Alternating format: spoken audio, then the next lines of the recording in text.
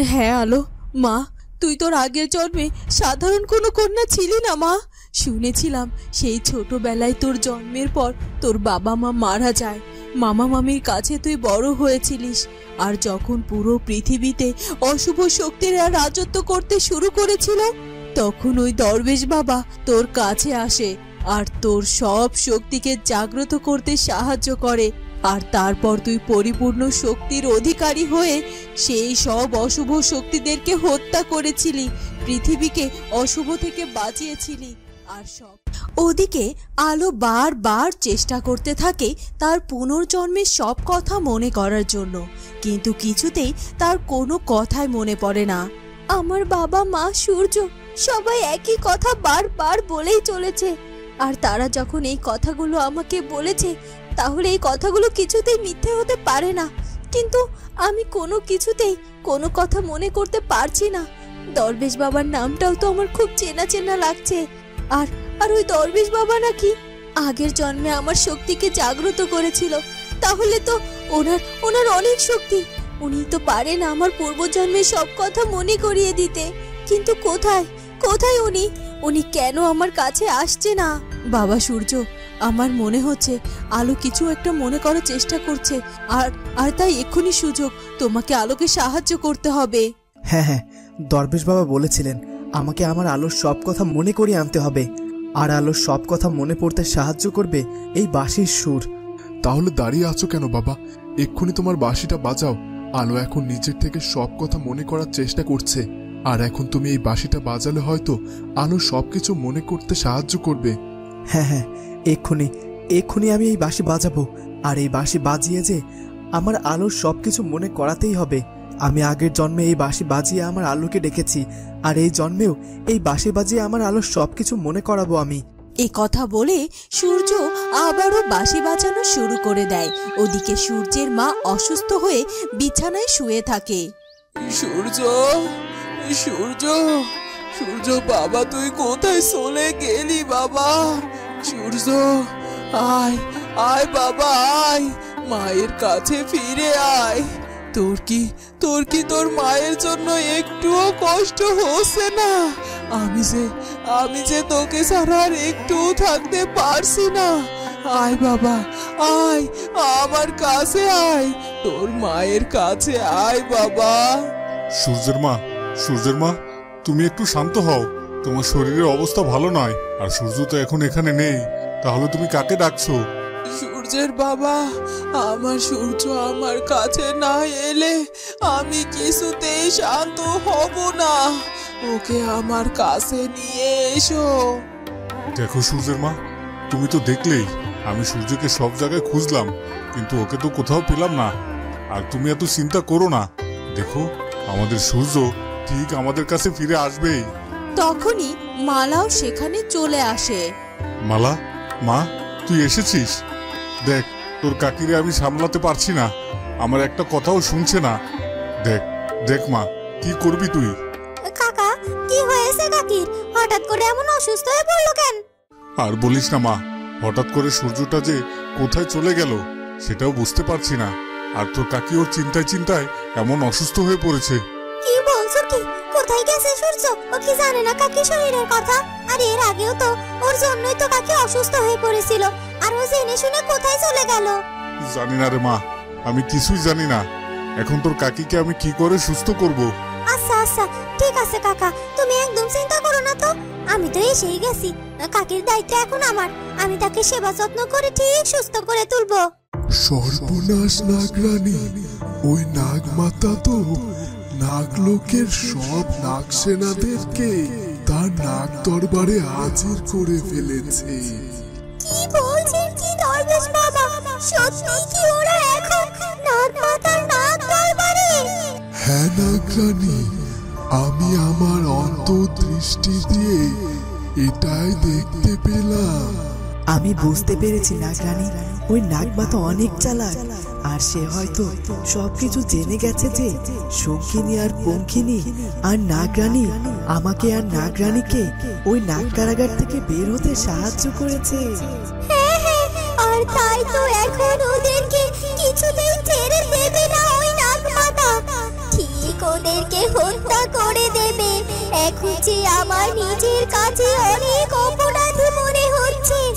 আমাদের যদি ওরা সাহায্য না তাহলে তাহলে আজ ওদের জীবন এমন বিপন্ন হতো না। নাগরানী, নাগরাজ, এখনও নাগমাতা জানতে পারেনি যে তোমাদেরকে কে সাহায্য করেছে। আর তাই তো সত্যটা জানার জন্য ওই নাগমাতা ছলনার আশ্রয় নিয়েছে আর সেই ফাঁদে পা দিতে চলেছে ওই পঙ্খিনী। দরবেশ বাবা আপনি দয়া করে কিছু একটা করুন যেন ওদের প্রাণটা বেঁচে যায়। নাগরানী নাগলোকে যে আমার শক্তি কাটে না।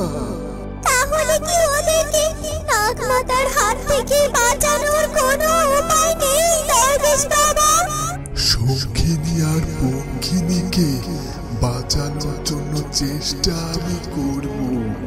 তার জন্য আমার অনেক শক্তি ক্ষয় হবে।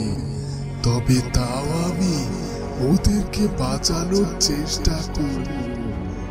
এ কথা বলে দরবেশ বাবা তার চোখ বন্ধ করে। পঙ্কিনি বল বল তুই কি বলতে চাস? তাহলে কি তুই এই দোষে দোষী? আর তুই যদি এটা নিজের থেকে স্বীকার করে নিস, তাহলে আমি তোকে ক্ষমা করে দেব। তোকে কোনো শাস্তি আমি দেব না। স্বীকার কর তুই। টঙ্কিনি দেখ তুই নাগমাতার কথায় ভুলেও ফাঁদে পা দিস না। নাগমাতা যা বলছে সব মিথ্যা রে। সে শুধুমাত্র আমাদের কাছ থেকে সবটা জানার জন্য এরকম ছলনা করছে। তুই দয়া করে কিছু বলিস না। তাহলে আমরা কিন্তু কিছুতে ওই নাগমাতার হাত থেকে বাঁচতে পারব না। কি রে শঙ্কিনী তুই পঙ্কিনীকে কি বলছিস? বল বল কি বলছিস? নাগমাতা আমি বলছি পঙ্খিনী যেন সত্য কথা বলে দেয়। কে রে পঙ্খিনী নাগমাতাকে সব সত্য কথা বলে দে। শঙ্কিনী তো ঠিকই বলেছে, নাগমাতা তো কখনোই খারাপ কাজ ছাড়া ভালো কাজ করেনি। আর সে কি আমরা অপরাধী জেনে আমাদেরকে ছেড়ে দেবে নাকি? না না, সেটা কিছুতেই করবে না। তাহলে তাহলে হয়তো সে আমাদের সাথে সত্যি চালনা করছে। আর তাই তো আমাকে শঙ্কিনীর কথা শুনতে হবে। কি হলো কি? পঙ্কিনী, চুপ করে আছিস কেন? বল, কি বলতে চাইছিলিস যেন তুই? আসলে নাগমাতা আমরা কিছুই জানি না। আমরা তো নাগলোকেই ছিলাম না। আমরা মানব সমাজে গিয়েছিলাম আর নাগলোকে ফিরে আসতে শুনি যে আপনি আমাদেরকে ডেকেছেন। আর আমরা তো শুনেই অবাক হয়ে যাচ্ছি যে কার এত বড় সাহস যে আপনার আদেশ অমান্য করে এত বড় অন্যায় করেছে। হ্যাঁ নাগমাতা আর আর ওই নাগরাজের নাগরানী তো আমাদেরও শত্রু। ওরা পালিয়ে যাওয়াতে তো আমাদেরও অনেক খারাপ লাগছে। তার মানে তোরা বলতে চাচ্ছিস যে তোরা এ কাজ কেউ করিসনি? ঠিক আছে, কোনো সমস্যা নেই। আমার জাদুগোলক এসে সবটা আমাকে জানিয়ে দেবে। তখন সব সত্যটা বেরিয়ে আসবে। তখন দেখব অপরাধী কি করে আমার হাত থেকে লুকিয়ে থাকে। জাদুগোলক জাদুগোলক কোথায়? এক্ষুনি হাজির হও। এখন কি হবে রে? ওই জাদুগোলক আসলেই তো নাগমাতা সব জেনে যাবে। তখন কি করব আমরা? বিধাতার উপর ভরসা রাখ। আমরা তো কোনো অন্যায় করিনি আর তাই তিনি আমাদেরকে রক্ষা করবেনই। তাই যেন হয়। এই বাঁশির সুর আমি শুধুমাত্র এখন নয় আরও আরও অনেক অনেক আগে শুনেছি। কিন্তু কোথায় কোথায় শুনেছি আমি? হ্যাঁ হ্যাঁ আমার সূর্য যখন আমার সাথে দেখা করতে আসতো, তখন ওই নদীর পাড়ে বসেই বাঁশি বাজাতো। আর সেই বাঁশির সুর আমাকে মাতাল করে তুলতো। আর তখনই আমি মামিকে ফাঁকি দিয়ে সেই নদীর পাড়ে চলে যেতাম। আর সেখানে গিয়ে দেখতাম যে স্বয়ং রাজকুমার সূর্য আমার জন্য বাঁশি বাজাচ্ছে। এরপর আমাদের দুজনের ভালোবাসার মিলনের পথে ওই সোহেরি সব থেকে বড় বাধা হয়ে দাঁড়ায়। তারপর তারপর? হ্যাঁ আলো হ্যাঁ তুমি সব মনে করতে পারছ। বলো বলো তারপর কি হয়েছিল? তারপর তারপর তারপর? না না মনে মনে করতে পারছি না তারপর কি হয়েছিল। তারপর সোহিনী তার তপস্বী মা নামের একজন জাদুকর্ণীর সাহায্য নেয় তোমাকে হত্যা করার জন্য। কারণ সে তোমাকে হত্যা করে আমাকে বিবাহ করতে চেয়েছিল। আর তারপরে তো সেই তপস্বী নানাভাবে আমাকে বিপদে ফেলতে চেয়েছিল। কিন্তু দরবেশ বাবার সাহায্যে আমি বারবার ওই তপস্বীর হাত থেকে বেঁচে যাই। আর তারপর রানীমার সাহায্যে অনেক বাধা বিপত্তি পেরিয়ে আমাদের বিবাহ সম্পন্ন হয় আর আমাদের দুটি যমজ কন্যাও হয়। কিন্তু কিন্তু ওই সোহিনী তখনও আমাদের সাথে শত্রুতা করেই গেছে। সে আমার সদ্যজাত কন্যাকে চুরি করে নিয়ে পালিয়ে যায় আর শকুন রাজের কাছে চলে যায়। আর আমার কন্যা শিখাকে তৈরি করে আমাকে হত্যা করার জন্য। এরপর আমার কিরণকে, আমার শিখাকে ওই শকুন রাজের আস্তানা থেকে নিয়ে আসে আমার কাছে। আর অনেক কিছুর পর পর আমার শিখা সব সত্যটা জানতে পারে। আর তখনই ওই শকুন রাজ, ওই শকুন রাজের কাছে আমার শিখার প্রাণ দিতে হয়। আর তারপরই আমি ওই শকুন রাজকে চিরকালে সমাধি দেওয়ার জন্য আগুনে নিজের প্রাণ বিসর্জন দেই। তারপর পরই সূর্য সেই আগুনে আমার সাথে সাথে নিজেকেও বিসর্জন দিয়ে দেয়। হ্যাঁ আলো হ্যাঁ এই তো তোমার সব কিছু মনে পড়ে গেছে।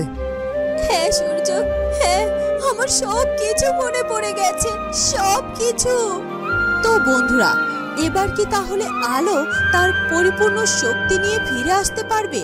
সেটা জানব আমরা কুচবরণ কন্যার পরবর্তী পর্বে। আর আমাদের আজকের ভিডিওটি ভালো লাগলে অবশ্যই আমাদের চ্যানেলটিকে সাবস্ক্রাইব করে দিও। দেখা হবে পরের ভিডিওতে। ধন্যবাদ।